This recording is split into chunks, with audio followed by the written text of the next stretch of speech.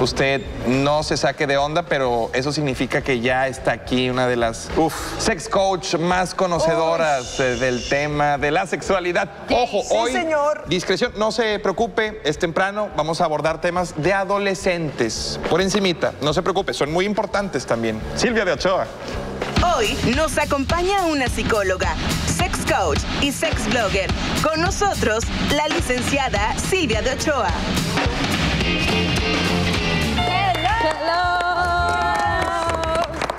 Hola. ¡Qué gusto! ¡Qué guapa! ¡Me encantas! Ya, no, me por favor. Es muy bien. Me dan mi dosis ustedes los miércoles, ¿no? Ay, mi... es ¿El color azul, el color azul te representa? ¿O por Es mi color favorito. Ok. Sí, coincidentemente Era sí. por Luna Bella. Pero era Luna lo que me motivó. Luna Bella, le mandamos un abrazo donde esté, debe estar trabajando. Le mandamos un abrazo también a- al que la contrató y esté viendo también esto. No, ahorita no Ah, no está en eso, un fuerte su OnlyFans. OnlyFans, correcto. Eh, mi fotógrafo, querida. Silvia, antes de pasar, sí te vemos más, es inevitable decirlo, te vemos Radiante. eh, radiante, pero ya muchos comentarios que qué te hiciste, que cómo, cómo le hiciste para verte así. Pues la verdad es de que estoy muy agradecida porque me di la oportunidad de invertir en mi salud y este me hice una cirugía bariátrica, lo cual representa que eh, una facilidad o una oportunidad de como resetear todos nuestros malos hábitos a través de un, digamos, como, eh, ay, ¿cómo lo puedo explicar? Eh, se hace una adaptación en tu estómago, ¿no? Básicamente a mí lo que hicieron fue quitarme el 80% de mi estómago, lo que me permite bajar de peso. Entonces, pues si ustedes notan algo, es por eso. Y ¿verdad? también sabemos de tus competencias, eres psicóloga, pero ¿te ha costado este proceso eh, psicológico que has atravesado? Claro, porque, vamos, me, me operaron el estómago, pero no te operan esta. Entonces, tú ves los taquitos y ves el pastelito y pasó la rosca y pasaron, vienen los tamales. Entonces, sí, uno tiene que decir así como que, ok.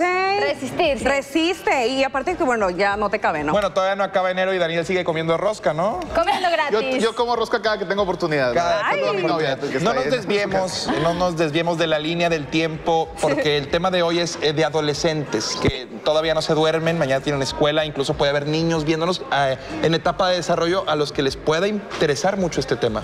Un tema muy interesante, lo acabas de decir, y yo creo que fundamental, porque hay muchos mitos alrededor de él, así que hoy hablaremos, ¿les digo? Sí, sí. De la primera vez. Ya quiero. Pongan atención, chicos. Oigan, qué padre, qué padre tema. Oye, ¿sabes qué? Adrián, discúlpame, tengo que ir al baño. ¿Cómo? ¿Cómo? ¿Cómo? ¿Cómo? Eso no se hace, Daniel. Eso no hace más que... Vamos a ver la cápsula, ahorita decides, por favor, ahorita, ¿cómo que al baño? Vamos a ver la cápsula, por favor.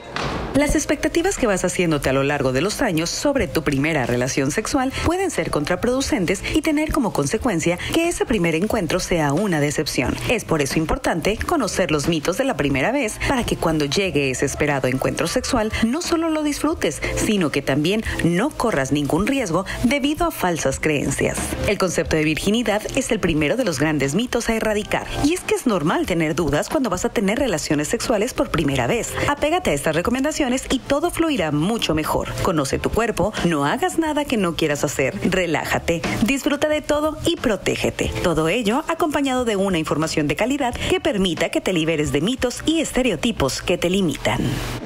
Silvia de Ochoa, México tiene uno de los índices de embarazo infantil más, al- pues, más altos en, en el mundo. Por eso la importancia de este tema y de la primera vez, de jovencitas y jovencitos. Platícame porque la primera pregunta que me viene a la mente es ¿cuántos años debe tener uno para sostener su primera relación sexual? Basiquísima esa pregunta y me atrevo a decir que es una de las preguntas que más me hacen los chavitos, ¿no? Cuando me escriben, sobre todo chicos de secundaria, aproximadamente estamos hablando de entre los 11, 15 años. La primera pregunta es ¿cuándo puedo ya tener relaciones con mi pareja? ¿Cuándo puedo empezar a cochar? ¿Cuándo puedo ya empezar Sí, a tener ya. actividad? Sí, o sea, yo ya quiero pum, una ribotota. ¿no? Pompear. Yo, de verdad, es, es muy difícil dar una respuesta porque sería como responsabilizarme de tanto chamaco. Que no, señores, por favor, pongan atención a sus hijos, tienen que irlos también educando. Claro. Sin embargo, Adrián, la respuesta siempre va a ser la misma. Cuando ustedes puedan solventar una enfermedad de transmisión sexual o bien puedan mantener un chamaco, entonces es cuando pueden empezar su vida sexual Me activa. gusta eh, el pragmatismo, o sea, te fuiste lo práctico, así como es. Es que es cierto. No, no, no, no le busques eh, la quinta pata al gato. Cuando puedas, tengas el sustento para traer una vida aquí Para las o para pagar lo que cuesta la penicilina de una gonorrea, papá. Totalmente, porque la verdad es de que seamos muy honestos, preparados están, tienen cómo, por dónde, con qué, o sea, Eh, pues sí, eh, ¿por tienen. dónde? Sobra. Yo tengo Cero. una pregunta. Sí, obviamente, ¿qué recomiendas tú en los adolescentes? ¿En qué lugar o a dónde ir para hacer esta acción? Obviamente tiene que pasar porque es naturaleza del ser humano, entonces, ¿qué recomiendas tú de que...? No me hagas eso. Porque si se puede... si Está viendo que se Les estoy diciendo que no se anden cochando. Ok, este, bueno, definitivamente creo que eh, podría yo decir que cuando llega la calentura, el lugar es lo de menos. O sea, me ha tocado muchos papás que me escriben y me dicen, es que los encontré en la sala, los encontré en su cuarto, en el carro. Oye, me tocó, incluso ustedes, las personas que me siguen, si no me siguen en Instagram, deberían seguirme. Los sábados hacemos confesiones. y me han he platicado. No, No, no no, abras la no. caja de Pandora, Qué por cosa favor. tan interesante, de verdad. Pero los chavitos me escriben y me dicen de que no, la semana pasada me dijeron, lo hice en una iglesia. Y yo, ¿Qué? ¿Cómo? No, no hay respeto ya. Cuando la calentura ¿cómo? llega, sí me la platicaron, luego les cuento para el aire. Muy mal, padre, muy mal. Oye, Silvia, ¿y es posible que si es la primera vez de ambos, existe el riesgo de alguna enfermedad de transmisión sexual o no? A ver, eso es una buena Muy pregunta. buena pregunta. Eh, porque si es la primera vez, perdón, De si es la primera vez de, De ambos, puede haber una enfermedad de transmisión sexual. Sí, puede. claro. Es muy importante. Y sí, sí puede haber, porque las infecciones in- in- invariablemente, si no te proteges bien, si bien está un ambiente en donde haya algún tipo de eh, roce sobre alguna superficie que esté infectada, puede haber algún Claro, por ejemplo, este, hacerlo encima de un hielo de barra, por ejemplo. O si están en de el depósito. Ahorita ya no hay antros, ¿no? ok. Pero, por ejemplo, muchos chavitos este, pierden la, la virginidad en el antro, ¿no? Entonces era así como que pues en el baño. Segundo piso ¿Quién te platicó de mi primera más. ¿Quién les platicó de mi primera vez? A ver, vamos a, a lo anecdótico. Vamos a lo A anecdótico. mí me han contado A ver. Ahorita invento una. Bueno, se, se vio mucho eh, que se iban al segundo piso del- de un antro ahí muy conocido. Ya. sácate de cosas. Se iban. Sin marcas. Vas a Se quemar iban. ya, ya vas a quemar iban. que lo que Dios de mi vida. Saludos, tú sabes quién Saludos, eres. tú sabes Trixie, quiénes son. eh, ¿Alguna Yo tengo una anécdota? pregunta. em, am, por ejemplo, cuando se me fue la pregunta. anécdota, anécdota, Trixie. No puedo creerlo. Está bien, te ¿Alguna boicoteaste. anécdota que hayas- Anécdota. eh, Sí, que ahorita me voy a acordar. Te da pena. Digo, eres joven, pero tú aquí mismo lo expresaste. Ejerciste tu sexualidad a temprana edad. Como exploración, yo sé que puede ser un tema incómodo, pero con relación a la primera vez, ¿estabas preparada? ¿Te sentías? ¿Fue una decisión Voy a, voy consensuada a con.? contar el contexto de esa, de esa anécdota, aunque me estén viendo mis papás, creo que es momento de que lo sepan. Oh. ¡No le cambien! Fue, fue con mi primer, fue con mi primer novio, se llama Alfonso. Oh. Poncho, Ponchito. Eh, pues sí, Poncho. Sí, fue con Ponchito. Ponchate. Perdón, qué viejo tan gacho Sí, soy. fue con. Ponchito y pues de ahí, o sea, yo la verdad agradezco mucho porque me ayudó mucho a conocerme a mí misma y yo también lo ayudé mucho a conocerlo, digo, que él se conociera a él mismo. Entonces, obviamente, pues fue como, pues sí tuvimos nuestros, sí tuvimos Diferencias. Sí tuvimos nuestro, nuestras precauciones, obviamente, para que mis papás lo sepan, pero pues sí fue a una temprana edad de los 15 años. Dios, Ah. Dios, Trixie. Qué bueno que ya pasé. Esto, lo bueno es que era para adolescentes hoy, pero bueno que ya pasé esta O pregunta. sea, pero ¿cómo? Y voy contigo, Silvia. 15 años. Y quiero dar contexto de esto. Soy psicólogo, colega tuyo. No ejerzo, tal vez, como tu terapia, pero para graduarse de la Facultad de Psicología en la Universidad Autónoma de Nuevo León es necesario hacer prácticas en telesecundarias de, de- de, eh, poblaciones o lugares marginados. Telesecundarias. Eh, en fin, te sorprendería la cantidad de dudas tan no Absurdas. tontas, ingenuas que tienen los adolescentes eh, en secundaria. Por ejemplo, si me doy un beso con una amiga, ¿me puedo embarazar? A ese punto. Claro. Entonces, a los 15 años... Volvemos a eso. eh, y no es juzgar, no es juzgar, Trixie, porque aquí, ayer. aquí estás y estás Yo todavía no. Viviste coleando. Exactamente, y no te arrepientes de nada. Pero No, ¿cómo puede nada. afectar en un escenario negativo una decisión así, Silvia? La ignorancia, la ignorancia puede hacer que se cometan muchísimos errores.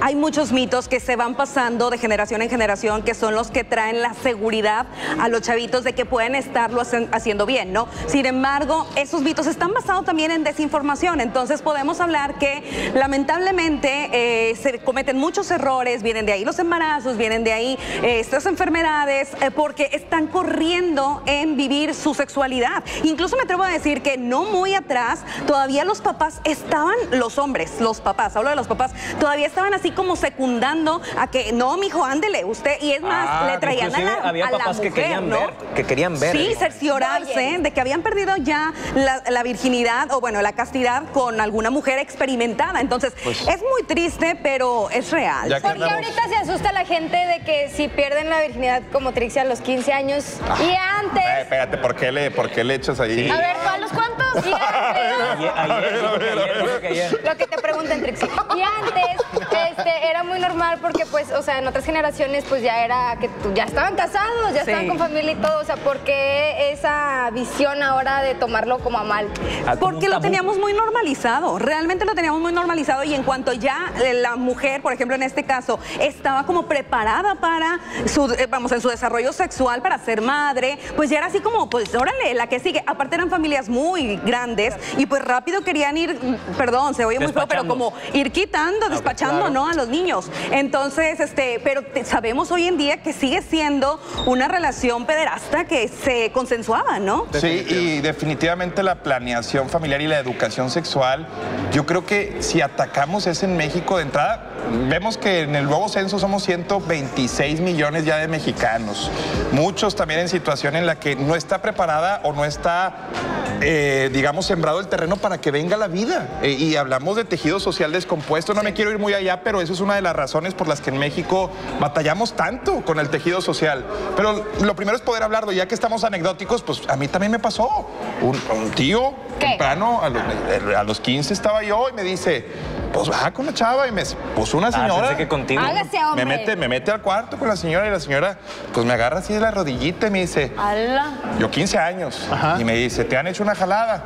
Y yo, pues sí, me reprobó la de mate. O sí, Adrián. dice, no, no de esas, pero les cuento después, Silvia, no te muy preocupes. fuerte, muy Porque- Ya le habías Oye, contado. Silvia, Silvia, por ejemplo, si, um, si es tu primera vez o si, lo, si mantienes una relación sexual a temprana edad y si a- hacia la mujer no le baja, ¿qué procedería?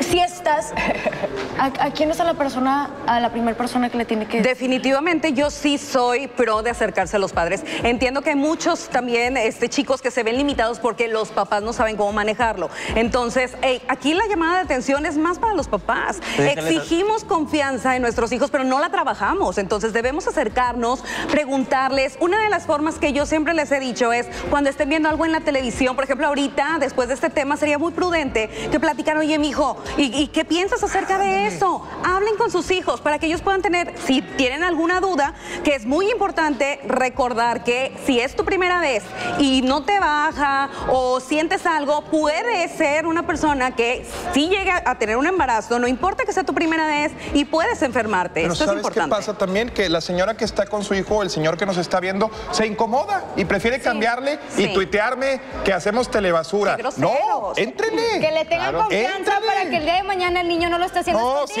porque ya basta también de, de- de seguir con eso de que hacemos televisión y, creamos Abran. acá eh, mentes vacías. No, estamos Mente hablando de sexualidad para que deje de, dejemos de traer vidas cuando no estamos preparados para traerlas a este mundo, Exacto. no solo al país. Eh, ya abrimos, me informa la producción que abrimos la línea ya para que usted se comunique con nosotros y nos cuente una anécdota o mándenos una pregunta también con el hashtag Adrián Marcelo Presenta. Aquí está Silvia. Adrián, perdóname, yo sí tengo que ir al baño, ya te dije Oye, rato. se me hace bien raro, no has preguntado nada. Qué pena. Y ahora como que al Adrián, baño, ¿qué tú- te pasa? Perdóneme. Y luego vienen las llamadas. Te estás ahogando Nunca de me ha algo. pasado, nunca me ha pasado, pero me anda mucho al baño. Ese no se hace al aire. Pero Daniel, Daniel, Silvia, una disculpa. No, no te preocupes, que todo le fluya. Ahí están las líneas abiertas. Oye, Comuníquese. Silvia, ¿y qué, qué- qué tan grande es el mito de que tu primera vez siempre va a ser de color de rosa? A ver, eh, parece que tenemos, eh, ahorita va a contestar esa muy buena pregunta, Trixie, pero parece que tenemos ya alguien en la línea. Buenas, buenas noches. Buenas noches, sí. Eh, quisiera hacer una pregunta para la señorita Silvia de Ochoa. ¿Cómo te llamas? Eh, claro que sí. ¿De dónde te comunicas y cómo te llamas? Eh, me llamo Maniel, Ma- Maniel Digraña. Maniel Digraña. Sí, yo tengo, yo tengo una duda, quería preguntar. Si tengo 30 años y, y no he perdido la virginidad, ¿to- ¿todavía puedo hacer algo al respecto? Ay, coche. Es que tengo una segunda pregunta de eso. Me, me comentan, eh, hay una enfermedad que al parecer se llama que- estar quedado, no sé si es una enfermedad de estar No, quedado. eh, bueno. Me dijeron que a los 30 años te da que, que- que estás quedado. Tú eres, eh, Maniel, antes de que Silvia te conteste, ¿tú eres virgen? Esto- ¿Estás hablando de ti? Estoy, estoy preguntando por, un- por un familiar conocido. Muy bien. Eh, Maniel, para Maniel Digraña. Este, déjame decirte, Maniel, para empezar, que qué bonito. Quiero pensar que te estás guardando para esa mujer indicada, pero Correcto. no tengas miedo. Aviéntese, mijo, no pasa nada. Eh, es importante que no nos apresuremos, ¿no? Pero también vivamos las etapas. 30 años creo que es una muy buena edad para que ya empiece a conocer su cuerpo y el de sus parejas. Entonces, yo lo invito, ¿no? A que pueda quitarse a lo mejor todas las represiones. Una terapia le caería bastante bien. Creo que sería Eh, prudente. eh, sí, sí. Sí, Maniel, Maniel, Maniel, desde... ¡Ay, no! Maniel, eh, has, estado cerca en, una situación en la que pues se haya podido dar, Maniel, eh, algo con una mujer o con, o con quien sea. ¿Has estado cerca y algo pasó, te dio nervio? Platícanos una anécdota. Eh, estoy, es que estoy esperándome a, a casarme. Entonces, Ay, una vez estuve con una muchacha ¿Sí? eh, y me dio un, un- un beso en la mejilla. Y quería preguntar, esa, esa mujer eh, fue hace 15 años. ¿Crees que yo tenga ahorita un hijo de 15 años con ella? No, perdónanos, perdónanos, Silvia. Perdónanos, Silvia. Me da ternurita. Ahora, ya poniéndonos un poquito más acá, el imen juega un papel Wow. importantísimo en Sí. la primera relación sexual. Es diferente, eh, digamos, la reacción cuando se rompe el imen en una mujer. Es algo único. Es decir, en ocasiones hay sangre, en ocasiones no. ¿Cómo es esto, Silvia? Para saber y no asustarse también. Sí, bueno, quiero decirlo y lo digo con todas sus letras. El imen no representa absolutamente nada, nada. Por favor, es el primer mito que debemos de erradicar totalmente, porque sí se creía que si tú sangrabas en tu primera vez era porque se había roto esta membranita que está en la entrada de la vagina. Y déjenme decirles que no tiene absolutamente ninguna relación, porque incluso hay mujeres que nacen ya con el imen roto, hay algunas que después de algún ejercicio, alguna caída, de alguna situación externa a la actividad sexual, se rompen Yo- su imen. Y, y tan simple, y creo que es súper importante mencionarlo, el simple hecho de que nosotras mes con mes tenemos un flujo sanguíneo que sale obviamente por el orificio vaginal, es porque nuestro imen está roto. Entonces, relájense un montón con eso. No hay ninguna forma, es más, me atrevo a decir, ni un médico se puede dar cuenta si tú ya tuviste o no tuviste relaciones. Hay muchas mamás de que, o los papás de que, pues te veo ya las caderitas muy grandotas, mijita. Se me hace que ya estás teniendo ahí tus que veres. Señora, no desinforme, no se noten las caderas. Estas son de genética, nada más. Amigo, Entonces, no. amigo en casa, no te preocupes, no es que no tenga imen, es que tu pene es muy pequeño. Eh, pues puede ser, puede ser también. Micropene, eh, Maniel Digraña ya nos ha platicado. Parece que ya la producción pide que nos vayamos antes, muy rápido, una pregunta del campeón glotón, Pacote, uno gran cachondo, viejo gacho. ¿Tú no crees, Silvia, que parte de esta época de, la- de lo que estamos viviendo es la culpa también de los padres por estar en mucho tiempo ocupado, dejar a los hijos solos y por las redes sociales ahorita Sí, se contactan y se ven en tal parte y por eso a temprana edad tienen relaciones sexuales? Totalmente, estoy con- convencidísima. Y esto mm, viene ya de unos años para atrás, incluso las redes sociales todavía no tenían el auge, pero sí hemos ido supliendo la presencia de, este, como padres con los hijos. Y sí hago de verdad mucho hincapié de que se acerquen a sus hijos. Nosotros los que hablamos de esto, sobre todo en los medios de comunicación que nos permiten, o bien a través de las redes sociales, lo hacemos porque es la ventana que ven los chicos. Pero de verdad que la primer oportunidad para tener información debe de ser deben de ser los padres. Si no, antes lo que hacíamos era con los amigos, o lo platicábamos, o lo, revisábamos en los libros de texto, pero ahora es agarras internet, buscas y hay tanta desinformación.